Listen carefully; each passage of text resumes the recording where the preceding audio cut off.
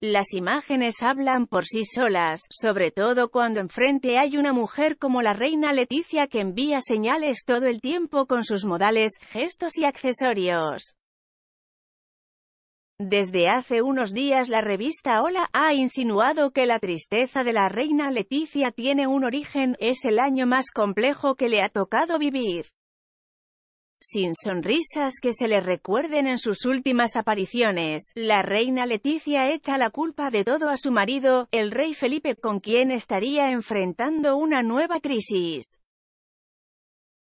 Algunos se animan a decir que la reina Leticia ya no imagina como algo descabellado el divorcio del rey Felipe, es mucho para cualquier persona lo que atraviesa la consorte. Sola la mayoría del tiempo, las últimas imágenes de la reina Leticia han dejado en claro que ni la mano le da al rey Felipe y que está lista para volver al ruedo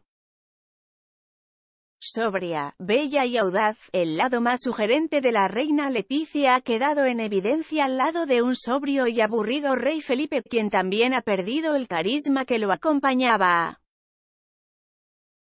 Si somos justos, diremos que la pareja del rey Felipe y la reina Leticia ha soportado mareas que otras parejas reales, a la primera de cambio, se habría ahogado o huido.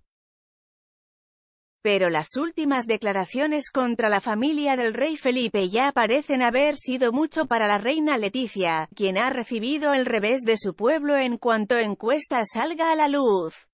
No la quieren. Y poco parece importarle todo ya a esta altura del año.